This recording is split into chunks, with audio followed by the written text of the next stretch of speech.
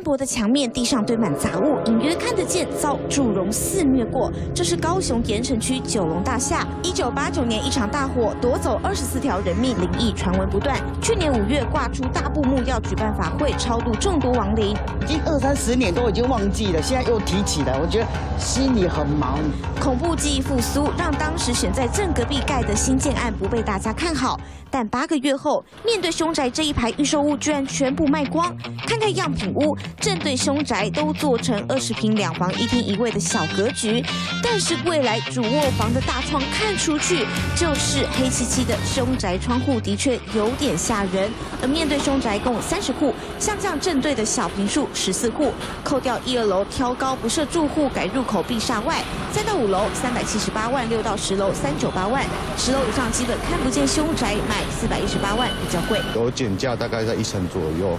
所以其实不会在意的客客户来讲，他们会接受。因为我没有要自住啊，对，所以投资的方向的话，应该是蛮还蛮可以。舍去一楼的金店面，宁愿跳高做住户活动空间，降低一旁凶宅影响冲击，加上都做小平数格局，吸引比较百无禁忌的年轻人和首购族小家庭，还有低价行销。让这凶宅旁建案摇身一变成销售王，跌破大家眼镜。只要够便宜，凶宅当邻居也没关系。三立新闻邱少文、古福先高雄报道。